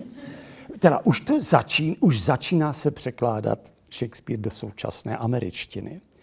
A někdy je to hodně, hodně, hodně špatně, musím říct. Ale, ale nebudu to rozvádět, ale fakt je, že oni mají, víte, tu výhodu, ale zároveň určitou výhodou těch překladů českých je, že každá generace nakonec má svého překladatele při nejmenším, že jo? A někdy jich má i víc. A já to neberu jako něco nadbytečného, ale jako takovou kulturní nabídku, která je u nás poměrně velká. Těch překladatelů je hodně a skvělých, že jo? Tak já jsem jenom rád, že patřím do, té, do, té, do, do toho společenství. A vím, že tak to je moje ta první, víte, vášeň, je to slovo v tom. A ta, ta druhá jsou ty kontexty. A ty kontexty mě často úplně se mnou zatřesou a zamíchají, víte, a najednou udělají důležitým to, co předtím důležité nebylo a to poznamenalo i to moje dnešní povídání, protože z vašeho hlediska určitě jsem mluvil nejméně půl na půl o těch vnějších kontextech a o té hře eh, samozřejmě. Ale já, já si myslím, že vy ji budete vykládat, tu hru, a řádek pořádku, že jo, až ji budete dělat a že tam to uděláte prostě po svém a, tak takhle. Tak jenom doufám, že to třeba bylo k něčemu, že víte, nějaká ta souvislost, že může, když tohle sepnete někdy, tak to může, nemusí, ale může to někdy hodit nějakou malou jiskřičku, která vás může někam, někam, někam posunout, no, kamkoliv. Český divadlo samozřejmě není tolik postavený na slově. Ano, ano, ano, ano. Nicméně, ano. pokud je to Shakespeare, nedá se to dělat jinak, než že to vyrůstá z jednání slovem. A je dobře, že do jisté míry autora toho, co budeme hrát, měli dnes u sebe už jenom jeho vášeň pro to slovo, je něco, co bych rád, abyste si jako zapamatovali, protože od tam tud vychází správný způsob jako hraní Shakespearea. Ačkoliv jsem ho nikdy nedělal, jsem o tom přesvědčen. Uh, tuhle vášeň byste měli se pokusit v sobě objevit. Ten způsob zacházení se slovem, to, že jednání prorůstá jako opravdu jako, jako kořeny do toho slova. To je něco nesmírně důležitého. Jenom v tu chvíli je to správně. Tu ještě o to vlastně důležitější je to, o čem jsme se bavili, jako o tom kontextu.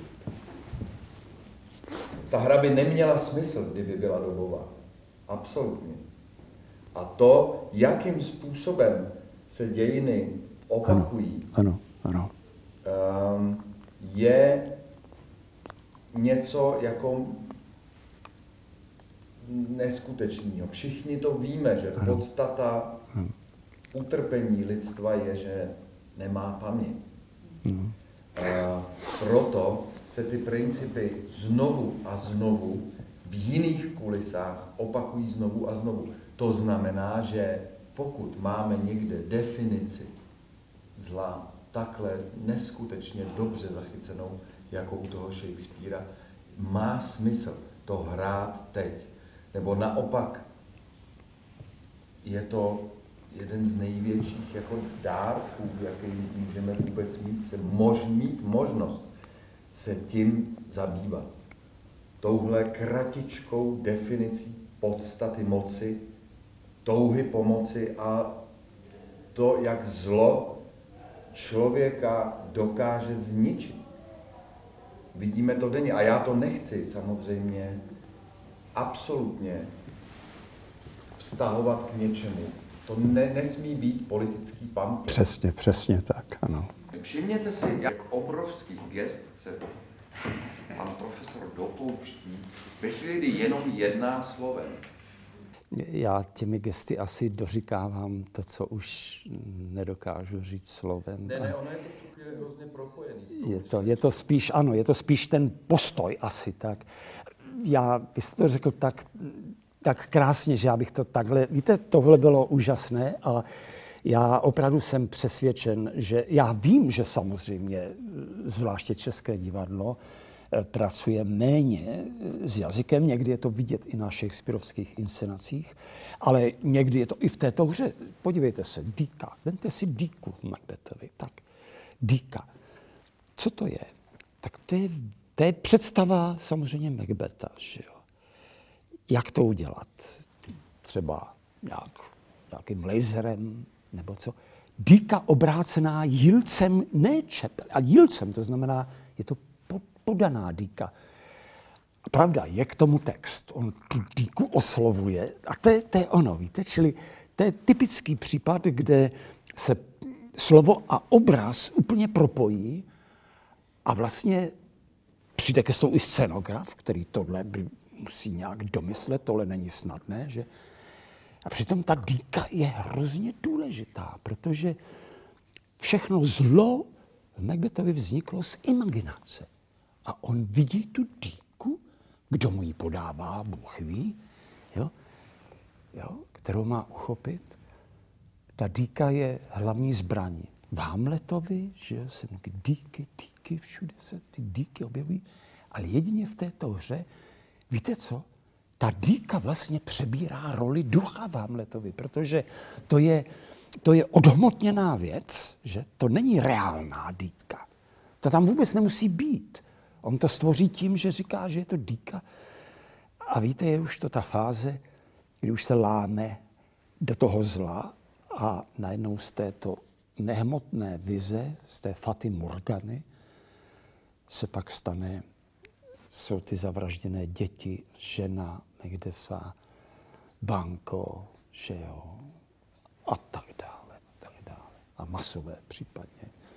Takhle vznikají masový vrazy, že, jo? že na začátku s tím mají problém a pak už vůbec ne. Tak promiňte, to je jenom, jenom tak, že je to opravdu, to slovo a obraz jsou propojené, ale někdy jde o to, že to slovo ten obraz vlastně vytváří. A víte, kdybych já vám neřekl nic, tak jestliže bych se mně podařilo ve vás probudit, nebo možná, že už ji máte, a tak posílit víru v to slovo. Ona je to otázka víry vlastně, že věříte, že to slovo není zbytečné, žádné trochu moc not, jak říká eh, někdo Mozartovi, že jo, v tom, víte, eh, a o Shakespeareovi taky někdo, i divadelníci by řekli, trochu moc slov. No zvláště v případě těch slov je tam přesně tolik, kolik tam má být a jsou všechna opravdu důležitá. Takže já jsem nesmírně rád za to, co jste řekl o tom slově, protože pro mě je to ta alfa omega. Já, já jsem jen překladatel, nedělám už pak ty, ta představení, to už je jiná práce. Je to opravdu jiná práce a já ctím. Víte, to je prostě jiná práce, že eh, velmi, velmi, velmi náročná, že? A mě osud prostě dopřál být vlastně přítomen divadlu, aniž bych sám z divadla byl. že jo? Já, eh, pro mě divadlo je hrozně důležité. Já jsem měl dvě, univerzitu a divadlo, že jo? A eh, to divadlo pro mě bylo úžasné v tom, že víte, to překládání je hrozně osamocená práce. To jste u, nejdřív u psacího stroje, pak u počítače. A teď prožíváte různé věci, rozumíte, od počáteční té, do propadu. Kdybyste věděli, kolik jich je, když máte takovýhle text, když víte tu nemožnost toho být práv té řeči a pak se vám něco povede.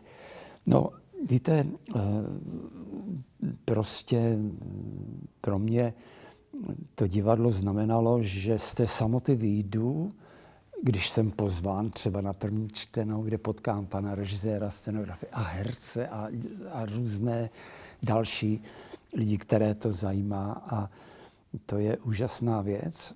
No a stejně úžasné na divadle je, že pak můžete jít do divadla a vidět reakci publika, což u překladu básně se nikdy nestane. Že? To je primátní věc, že to divadlo je politikum od začátku do konce. A proto je to já jsem si vědom té strašné odpovědnosti toho překladu, víte, protože ta slova pak chodí po jevišti, že jo, a, a, a, a buď to to vyjde, a pak je to ale radost obrovská, no a když to nevíde, tak eh, je to, je to naopak velký smutek, že jo, no. to jsem řekl věc, vidíte. Já mám dar říkat takovéhle věci. ne, ale...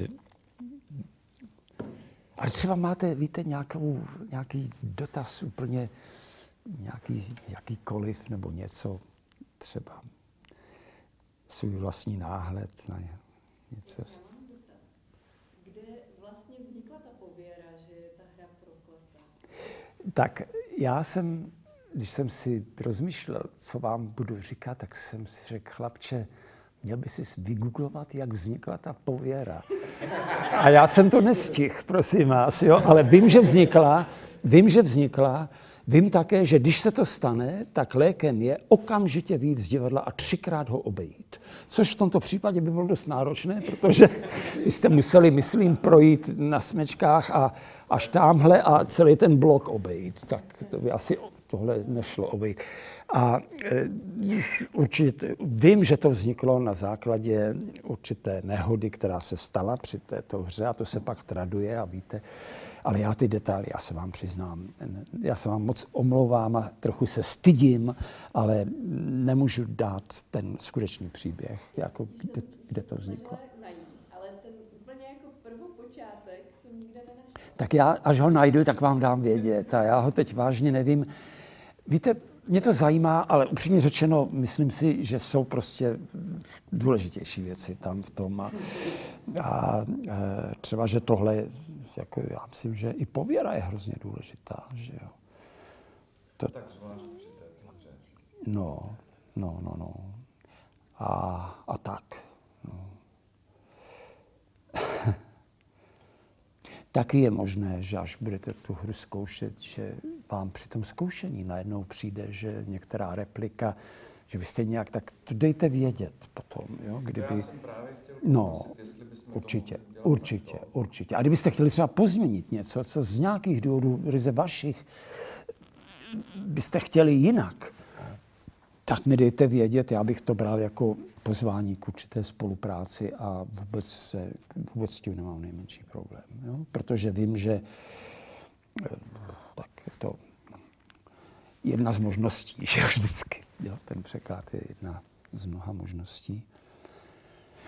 No. No. Ještě jako já, protože to je nejhorší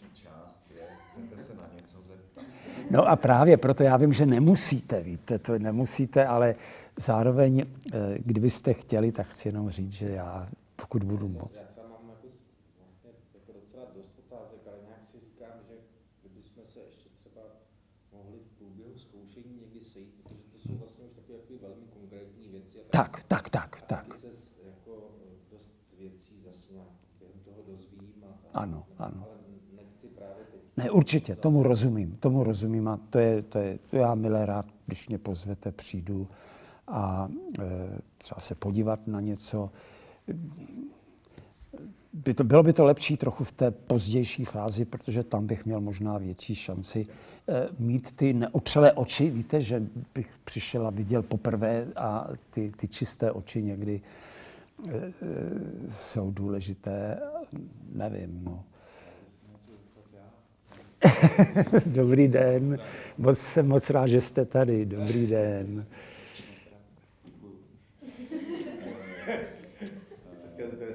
Ne, ne, vůbec. Tak to zajímá jedna věc. Vlastně je to několik dotazů možná dohromady. Eh, kolikátá to byla vaše hra v tom, v tom překladatelském žebříčku a jestli zejména totiž ty kontexty a vazby, já jsem bohužel hrozný jako analytik, mě to hrozně zaujalo. Jestli třeba v určitý chvíli, kdy potom přijdete na nějaký kontext nebo na nějakou novou vazbu, nemáte chuť to třeba ne upravit, anebo když se vám najednou teď něco rozsvítilo, víte co, myslím zrovna s tím střelným prachem, v jaký fázi toho vašeho překladatelského života ta hra byla? Ano, no tak eh, víte, já jsem začal komediem, stejně jako Shakespeare. To je zajímavé, to já nebylo plánované, to tak chtěl osud, že Shakespeare nejdřív napsal ty krásné sváteční komedie a pak přišly ty vrcholné tragedie. A já jsem začal jako on, můj první překlad byl Sednoci svatojánské, pak Marná lásky, snaha, jak se vám líbí, jo, večer tři královí, takhle. A první můj překlad tragedie byl Otelo v režii Ivana Raimonta, že ve Stavovském divadle. A víte, já jsem se musel naučit řeč tragedie, protože to je jiné než ta komedie. Tam jsou taky hříčky. Hříčky jsou všude. V komediálních textech, v tragických, v historických, všude. Nejvíc je jich v komediích a v tragediích. A víte, co je zajímavé, že ty hříčky jsou většinou na začátku těch her, ne v závěru. Já tuším, že vím proč, ale abych vám odpověděl, to bylo, to byly, to bylo v 90. letech už a e, musím vám říct, že to bylo jako když vážíte miligramy, když vážíte každé slovo do miligramů, že tam šlo o tu přesnost emoce. Jo? Komedie je taky náročná, ty ohňostroje slovních říček, třeba v tom mlsu, jo? to je něco úžasného. Tam vlastně děláte vtipy, nebo je to taková rachejtle vypouštíte a teď oni musí správně vybouchnout, že jo. A když ne, tak je konec, že jo. Ale ta tragédie vás postaví před úplně jiný problém. Být přesný v emoci, pojmenovat to tak přesně, jak... A e, tam, že jo.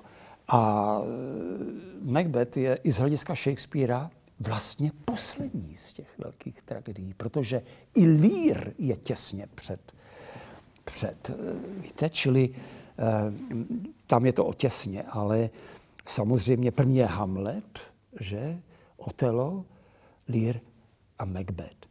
A u mě je to vlastně pozdní překlad. Eh, já jsem Macbeta poprvé dělal pro slavnosti Shakespeareovské a režíroval to to, byla, to, bylo, to, bylo, to bylo velmi, velmi takové zajímavé a já jsem to dělal pro tuhle inscenaci, ale s tím, že jsem chtěl, víte, to udělat co nejlíp a dalo to obrovskou práci, která byla zase jiná než Hamlet, jiná než Otelo, jiná než ten lír, což je vlastně jazykový vesmír. Ten lír je opravdu šílený úplně. Že jo?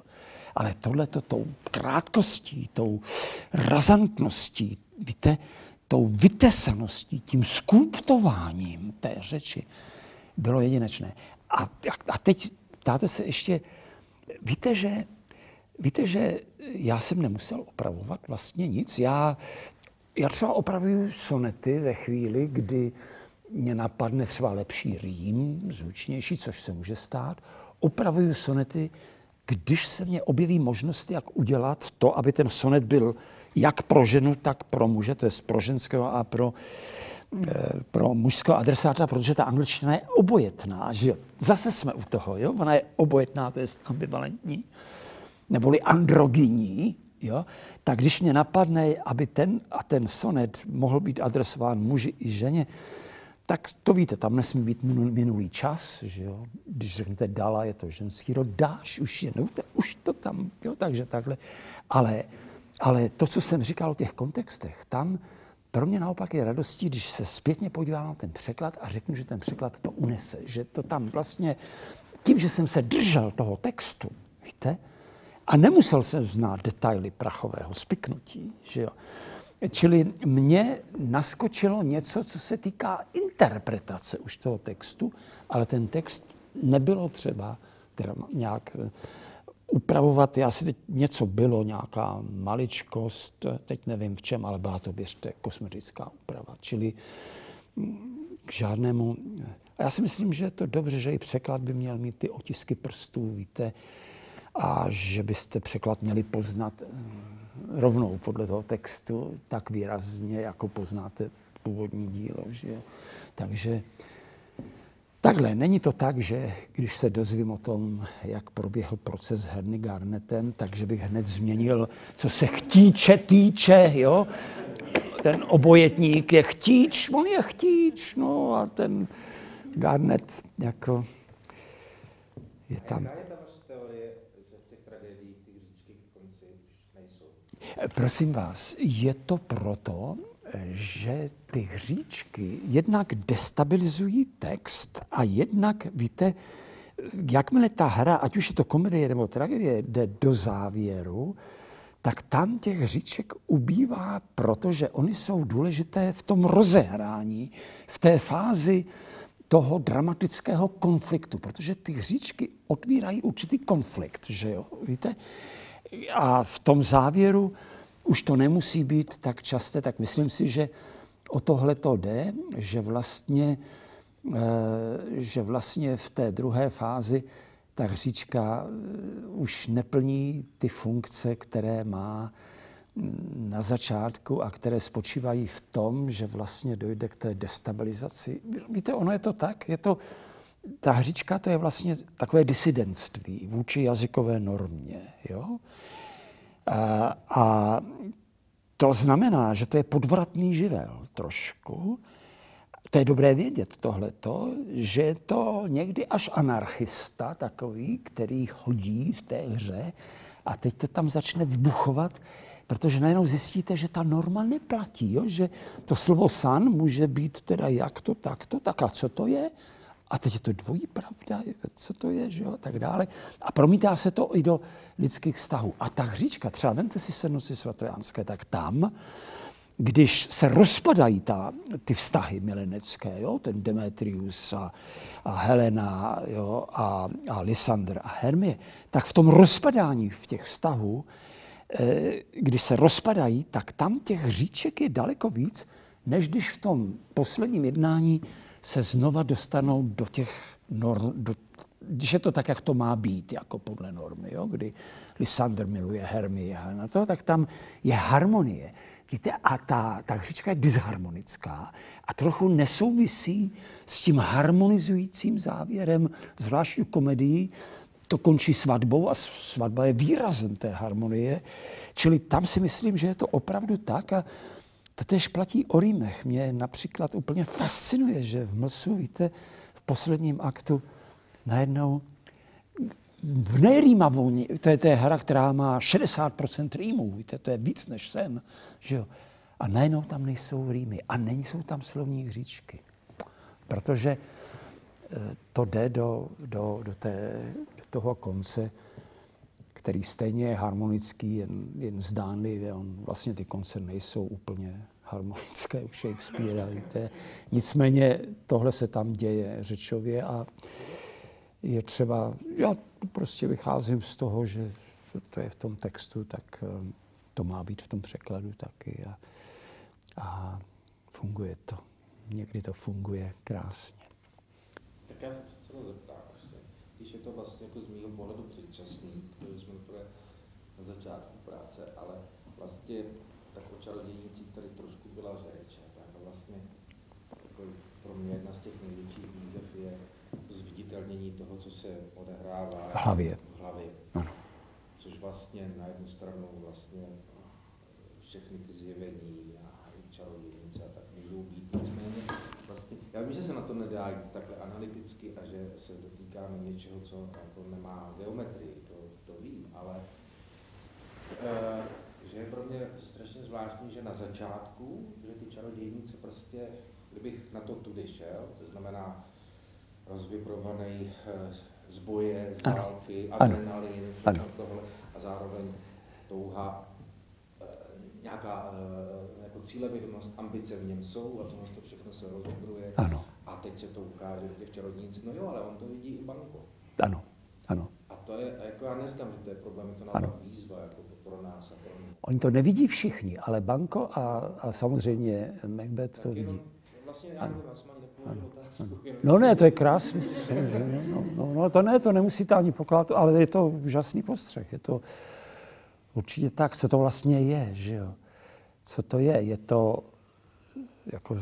A já si myslím, že to není jen záznam toho vnitřního světa, to, co se děje Hamletovi, to ní Macbethovi v hlavě, ale že e, prostě, víte, ty čarodějnice jsou tam fyzicky přítomné, že jo? takže to je hrozně důležité. Ta fyzická přítomnost na jevišti a když je něco přítomné na jevišti, tak je to divadelní znak, ať je to prsten, ať je to čarodějnice nebo cokoliv, tak tam prostě má určitou fyzickou realitu, která je důležitá. A pak má, nabírá teda ty významy další a to, co vy říkáte, je úžasně zajímavé a je to samozřejmě velmi obtížné to, to sledovat a, a pochopit, co se mu děje v hlavě a, a tak, ale myslím, že ta trajektorie takového, té, té proměny toho vědomí tam je, je důležitá a, a taková dost jasná, že jako eh, jenže takhle se to řekne, vidíte, ale až to budete dělat v detailu, tak třeba tam se objeví spousta rozcestí a možných cest, jak, jak to uchopit a co s tím a, a tak dále. No. Chcete se někdo na něco? Ne, myslím, že asi mo- možná, nebo pokud skutečně, jestli jenom je to z rozpaku, tak klidně to řekněte, ale vím, že většina otázek člověku naskočí ve chvíli, kdy ukončíme. Tak dnes odpoledne ty otázky přijdou. Jelikož jsme se domluvili, že se uvidíme, tak jako nepřijdou vniveč. Jenom si je někam napište. My se Určitě, můžeme asi určitě. průběžně, pokud skutečně zjistíme, že přes něco nemůžeme projít bez toho, aby jsme to věděli, můžeme určitě i na dálku položit dotaz, že? Tak určitě, když já budu, já můžu být také, taky můžu nevědět, že jo, a když budu vědět, tak milé rád přijdu. No, no, no. Pokud to není záležitost toho, proč. Víte, eh, ono hodně věcí vygooglovat jde, ale jsou pak věci, které vygooglovat naštěstí nejde. No. A eh, co se stalo BI, internet neví. A nebo jenom zkreslil. Držím vám palce v každém případě a opravdu Shakespeare je vždycky trochu pračka a rvačka a hm, taková zápas o význam, a, ale taky je to velká radost, když se to povede. Ta odměna je velká, prostě myslím.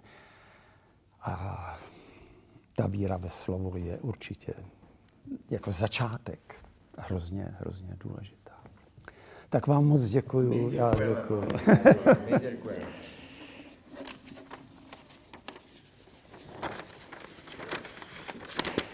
Já jsem vymyslel, víte, tohle, eh, hned v roce 90 prostě jsem chtěl přijít s něčím novým, nějakou jinou edici udělat. Takže takhle vzniklo tohle. eh, A protože, všimněte si, tohle tady vlastně nebylo.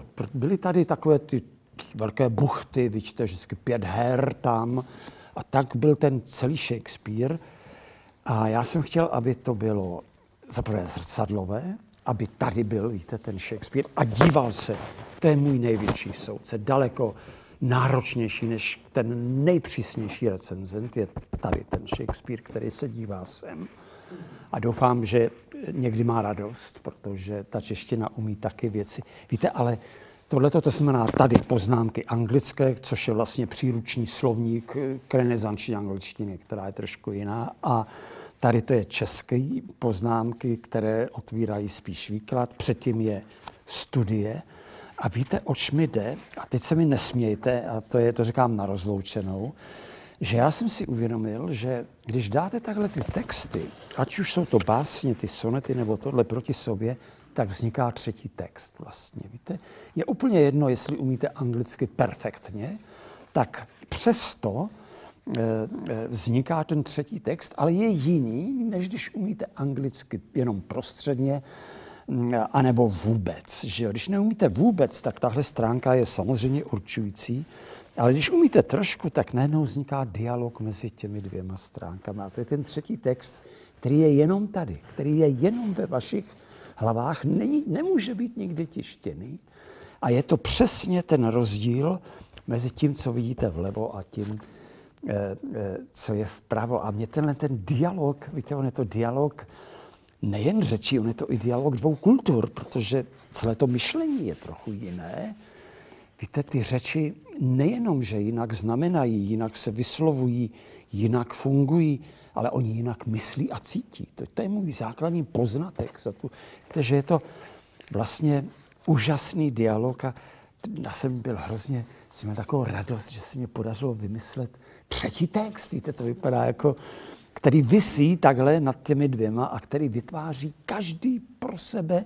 Je to jeho text a proto je nenapodobitelný a vzniká právě v té konfrontaci. Tak to jen jenom jako taková poznámka na okraj k tomu, jak vlastně se zrodila celá tahle dvojazyčná edice. Bohužel to je tak prasné, že mě se podařilo udělat osm knih. Tohle je poslední, to je osmá je Macbeth je tak, jsou tak jen sonety a Hamlet a Macbeth a Otelo a, a z komedií je to teda ten sen noci svatojánské. A, ale moc mě to, moc mě to zaujalo. Tak, tak, takže takhle.